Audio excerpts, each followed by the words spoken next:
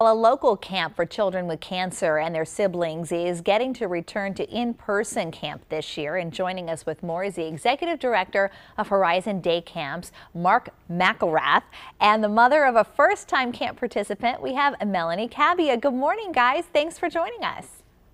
Good morning, Jen. Good morning. Thanks so much for having us. You're welcome. And Melanie, I want to start with you and Noah. How exciting is this to be able to go ahead and go back to camp?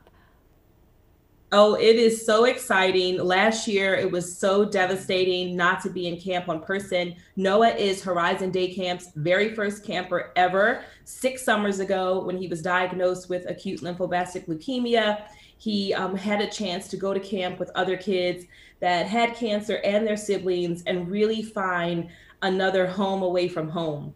And so we are so excited to be able to return to in-person camp this summer. So Noah, you're like the big man on campus then. Like you know all the ins and outs. You probably are like the welcoming committee. Yeah. it's crazy to be a first camper. I never thought I would be. But I made so many friends there and it's so awesome.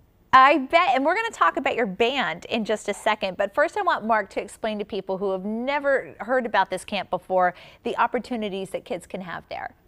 Okay, thank you, Jen. So the Jen, the last time you and I visited was last summer. We were in the middle of our virtual summer camp experience, and that was really so successful and enjoyable by all measures. We're going to continue to offer that as a secondary option for our Horizon families, but we're most excited, uh, as you suggested, to return to our in-person camp. We're at Boys Latin, which is a wonderful private school on the Baltimore City, Baltimore County line. But uh, Horizon Day Camp, to add a, a, broader context, we're a local organization that's based in Baltimore, but we serve children all across the state of Maryland, as far south as Washington, D.C. We're part of a larger organization that's called Sunrise Association, and our mission is to uh, help return the joys of childhood to children who are dealing with pediatric cancer. That includes siblings as well. And we accomplish that in a few different ways. We host our free full summer day camp.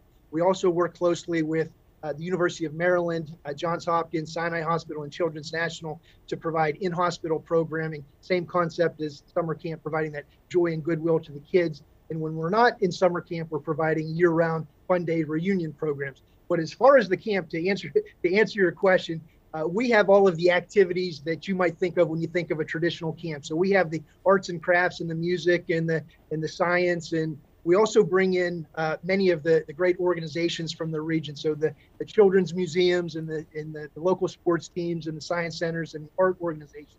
But everything we do really is about providing fun for the kids, helping them forget about some of the other challenges they may be facing. At the same time, we want to help them develop friendships and interpersonal skills, build their confidence, and just have a wonderful summer.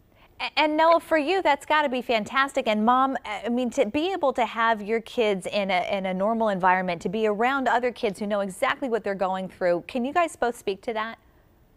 I mean, it's really just I mean, Noah's been able to make some great friends, and there definitely is a special bond that children with cancer and their siblings have with each other because they're going through something um, traumatic and um, sometimes the really tough challenges. But at camp, that all that kind of disappears. I always say that Horizon, there's a sunrise on the horizon at Horizon Day Camp um, because it really truly is a light in the light in the lives of these kids um, who are going through so much and their siblings who are also going through the journey. And they really do a great job just wrapping their arms around the whole family. So we're pretty excited about this concert, um, summer concert series. Well, the summer concert series, because Noah, you're going to play. What's your instrument? And you're going to kick it off, right? I'm going to play drums drums is the best. I don't play drums. drums is your life, it sounds like. That's awesome. And then, Mark, if people want to get involved, how can they reach you? Sure. So the best first step is to log on to our website, which is horizondaycamp.org. That's horizon with an H is in happy. That's a good place, whether it's on the philanthropic side, whether it's parents who want to register their camps. And on that note, Jen, I would like to say that probably our greatest message this morning is we want your viewers to know that we do exist so if if uh, if they uh, encounter some neighbors or colleagues or family or friends, whether now or in, or in the future, who may be dealing with this type of crisis, uh, we, certainly want them to be our messengers and help let them know that we exist. It would be our privilege and pleasure to welcome as many kids as we can for a, a wonderful summer this summer and, and years in the years ahead. Fantastic. Noah, if we'd known you played the drums, I would have had you beat us out to our commercial break. Next time, okay? Yeah. Well, just join us on July 28th at White Marsh at the Avenue. We'll be there, Noah and the Rainmakers. I love it. You guys, thanks for joining us this morning. Really appreciate it and stay